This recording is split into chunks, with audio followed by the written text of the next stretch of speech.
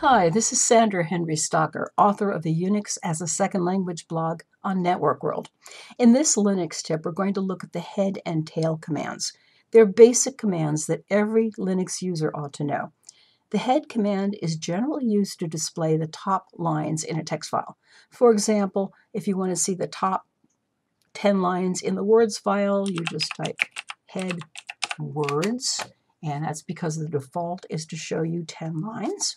If you want to see a different number of lines, you can just put an argument in here like that, and now we'll see four lines instead of 10. The tail command does the opposite. It shows the last lines in a file. So if I want to see the last 10 words in the words file, I could say tail words. And there you see, I see the end of the file instead of the beginning.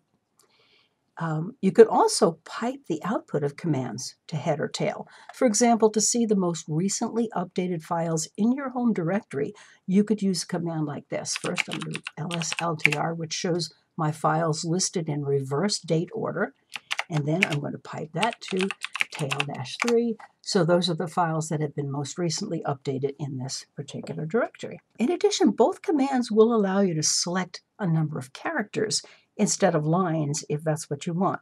So these commands here put, are going to show us the first 10 characters in the words file.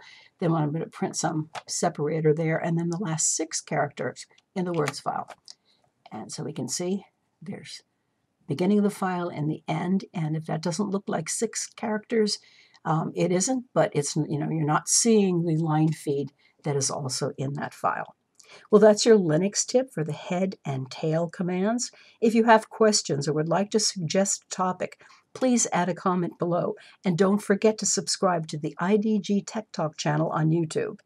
If you like this video, please hit the like and share buttons. For more Linux tips, be sure to follow us on Facebook, YouTube, and networkworld.com.